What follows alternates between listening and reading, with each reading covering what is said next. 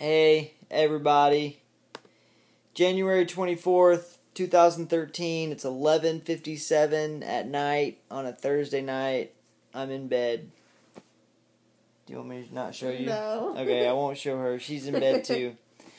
Um, but uh I'm uh I'm about to email um the attorney that it looks like we're going to be moving forward with.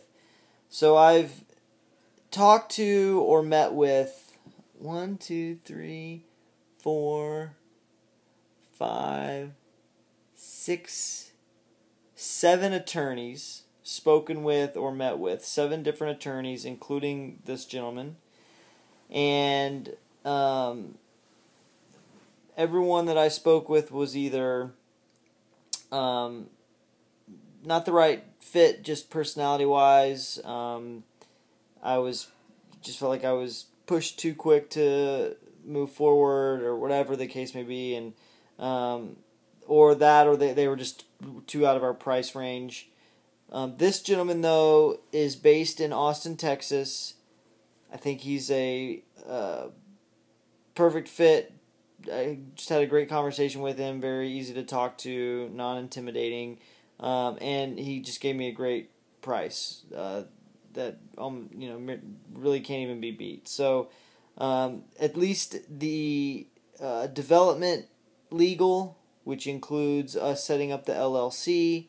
Um, the PPM, operating agreement, all the necessary paperwork for us to be able to legally approach investors and raise uh, money. Um, I think he's going to be doing it. He also does production legal, which um, we discussed that you know once the time comes for that, he uh, we would come up with a rate that's fair. Um, so uh, yeah, for now this is this is feeling pretty good. So I'm going to email him um, and just say like let's let's do this. I'm sure he's going to send me um, an engagement letter, and then we'll go from there. Um, yeah, so that's the update right now.